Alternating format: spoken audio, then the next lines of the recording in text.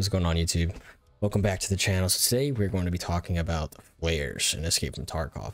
This is something that not a lot of people really know about. Because I've been seeing them like quite often a lot on the ground, like unused flares, and people like just straight up not picking them up.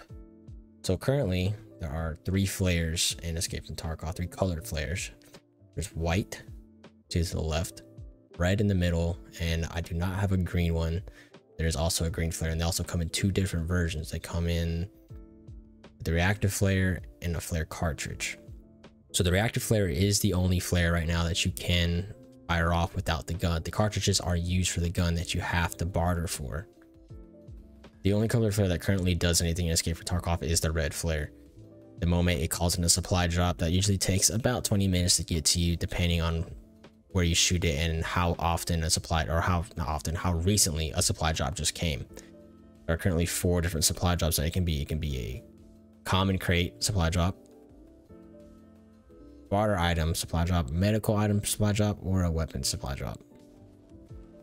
In order to use the pistol cartridges you need to have the signal pistol which can only be obtained by bartering for it from jaeger trader level 3 you need five white flares one yellow one green and two red flares. Once you obtain that, you can use the cartridges in raid, but I assume that, well, I don't know if you can put it in your secure container yet. I haven't got it, but I assume you can't put it in your secure container because it's considered a weapon. So I would insure it if you were going to go for the signal pistol. Now, of course, when you're in raid, you simply sign it to a key. That's what I do it. You sign it to a key and you just pull it out. Bam, it's ready to go, right?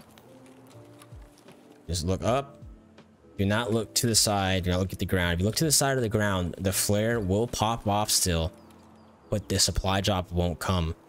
Also, do not aim this at your friends. You can actually kill somebody with the flare gun if it hits them in the head. And it's kind of wild. You look up, and just click.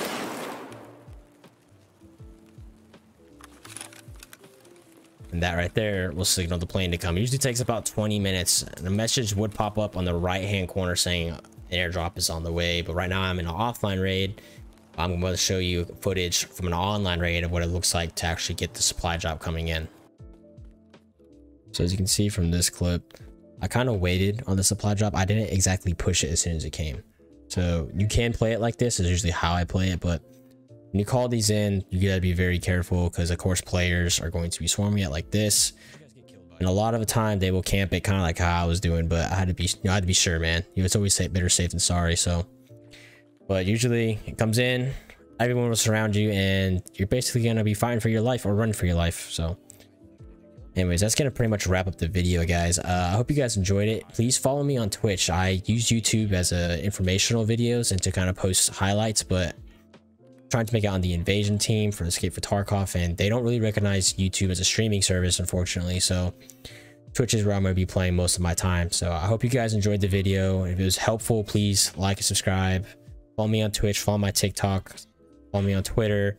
Keep up to date with what I'm doing in my everyday like active active army life. And of course, thank you guys for the support. I really appreciate the comments, even if they're hateful or constructive or just you know a well-being comment like always, guys, take care of yourselves, and I hope to see you guys on this channel again. Peace.